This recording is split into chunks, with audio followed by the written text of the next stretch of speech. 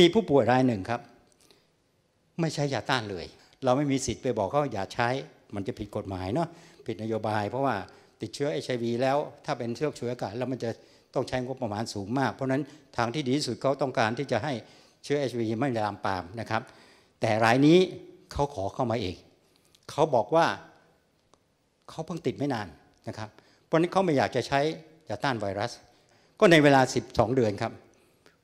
สิ่งที่พบก็คือว่าไวรัลโหลดของเขาจาก 34,000 ใน 12 เดือนครับ ลดต่ำกว่าที่สามารถวัดได้ด้วยวิธีการปกติ คือวัดไม่เจอแล้ว อาจจะศูนย์อาจจะ 39 อาจจะ 35 แต่ยังไงก็ตามนี่คือสภาพของ HIV ที่ตรวจวัดไม่ได้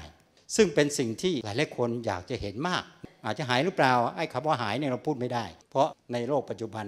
เขาบอกว่า HIV รักษาไม่ได้ครับโอเค ทีนี้ปัจจุบันครับ นักภูมิคุ้มกันวิทยา เขาเริ่มยอมแพ้ที่จะทำให้เชื้อ HIV หมดไปจากร่างกายพราะเขารู้ว่ามันทำยากนะเขาก็บอกว่ายังไงก็ตามก็พยายามทำให้ HIV ลดลงต่ำที่สุดแล้วกัน ต่ำจนถึงระดับที่วัดไม่ได้นั่นแหละ แล้วก็รักษาสุขภาพร่างกายก็อยู่ในสภาพดีอย่างต่อเนื่อง ก็ถือว่ามีเชื้อ HIV อยู่ในภาวะสงบ ซึ่งเขาเรียกว่า functional cure อันนี้คือภาวะที่บริษัทยาทั่วโลกกำลังต้องการให้บรรลุผล เราเจอมาแล้วเมื่อ 3 ปีที่แล้ว ปัจจุบันเราอยู่ในภาวะที่คิดว่าเราทำ functional cure ได้แล้ว และอยู่ในระหว่างการรวบรวม เพื่อที่จะไปประกาศว่า นวัตกรรมของชาติไทยได้บรรลุถึง การทำให้เชื้อ HIV